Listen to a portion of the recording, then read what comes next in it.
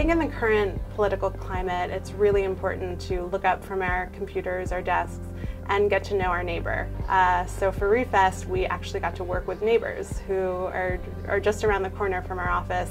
Uh, but it's a point that we really value um, more broadly, which is the importance of community and making connections where connections aren't already being made.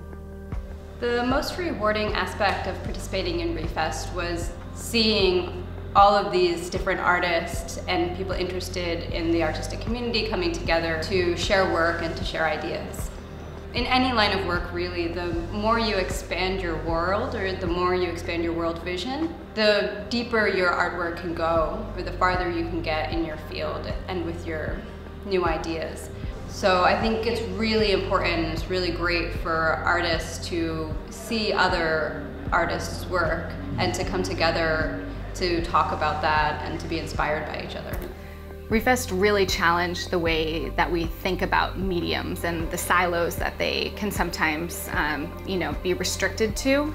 Um, I think that having all of these different types of projects in dialogue with one another um, really allowed viewers to engage with the ideas presented um, and not not just the form, you know, in which they were taking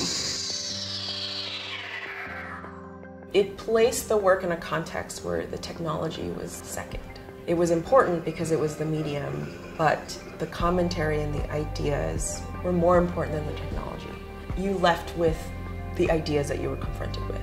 The luxury of having work shown in a gallery meant that you had the best of both worlds. You, you got that kind of direct feedback and interaction with the people who were experiencing your work, but you also had the time and the space to do it, especially the way that the, the table in the middle of the room was set up with the doodling and the free participation. I think it kind of opened people up to know that they had permission to have a voice, you know, that they weren't there just to observe, but that they could kind of leave their mark in some way.